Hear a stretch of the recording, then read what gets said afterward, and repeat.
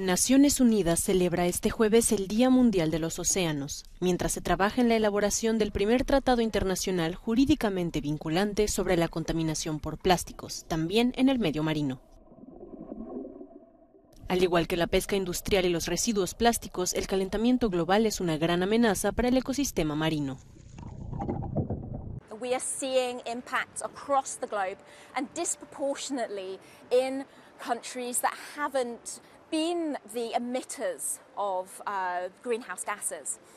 But alongside that, we're seeing local impacts of fisheries. These might be unreported, unregulated, um, or poorly regulated fisheries, which are having direct impact on the ocean.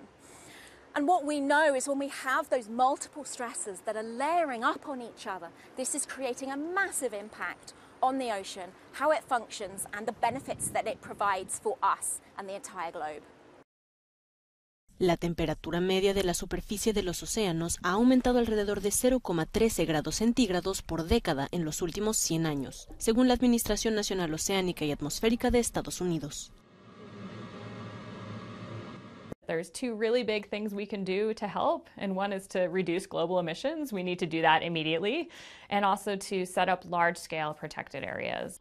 Las contribuciones para limitar el calentamiento global a 1,5 grados desde los acuerdos climáticos de París no han logrado alcanzar el objetivo de los 2 grados. El Día Mundial de los Océanos es una oportunidad para que las naciones trabajen juntas en la búsqueda de soluciones nacionales e internacionales viables para mitigar los daños causados por la crisis climática.